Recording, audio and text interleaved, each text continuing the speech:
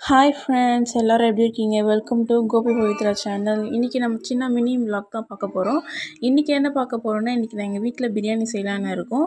So அதனால தான் நான் ஆனியன்லாம் சாப் பண்ணிக்கிட்டு இருக்கேன். ஆனியனும் டொமேட்டோவும் சாப் பண்ணலான்னு இருக்கேன்.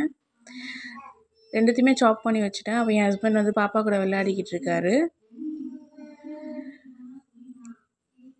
இதுதான் எங்களோட wedding photo first time video எடுக்கிறது கொஞ்சம் ஷையாக தான் இருப்போம். ஸோ அதனால் அட்ஜஸ்ட் பண்ணிக்கோங்க. நெக்ஸ்ட்டு நாங்கள் ஆனியன் ரைத்தாக்காக வந்துட்டு வெங்காயம் சாப் பண்ணிக்கிட்டு இருக்கோம். எப்பவும் இப்போ ஆஸ் யூஷுவல் நம்ம எப்போவுமே பிரியாணி செய்ய மாதிரி தான் ரொம்ப சிம்பிளாக தான் செஞ்சுக்கிட்டு இருக்கோம். குக்கரில் எண்ணெய் ஊற்றிட்டு பட்டை லவங்கம்லாம் போட்டு வெங்காயம்லாம் போட்டு நல்லா வதக்கிக்கலாம். நெக்ஸ்ட்டு இஞ்சி பூண்டு பேஸ்ட்டு போட்டு நல்லா வதக்கிக்கலாம். குக்கரில் வந்துட்டு லைட்டாக தான் வெங்காயம் லைட்டாக தான் வதக்குறோம். குக்கரில் செய்யறதுனால ரெண்டு மூணு விசில் விட்டாலே நல்லா வதங்கிடும் வெங்காயம். ஸோ அதனால் வெங்காயம் தான் வதக்குறோம். நெக்ஸ்ட்டு வந்துட்டு புதினா தக்காளிலாம் போட்டு நல்லா வதக்கிக்கலாம். அப்புறம் பிரியாணி மசாலா லெமன் தயிர் மிளகாத்தூள் உப்பு இது எல்லாமே போட்டு மிக்ஸ் பண்ணிக்கலாம். சிக்கனும் ஆட் பண்ணிட்டாங்க அம்மா இது நல்லா கலரிக்கலாம். நெக்ஸ்ட்டு வந்துட்டு அரிசி ஆட் பண்ணிக்கலாம். ஃபுட் கலர் சேர்த்துருக்கோம். ஸோ அதனால் அவங்க உங்களுக்கு கலர் அதிகமாக தான் கா தெரியும்.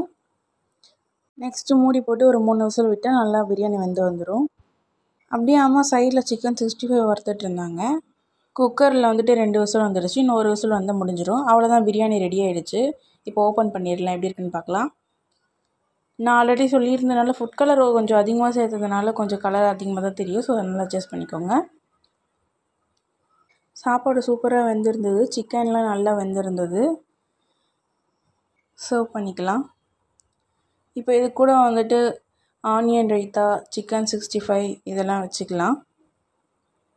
அப்புறம் ஃபிஷ் வச்சுக்கலாம்.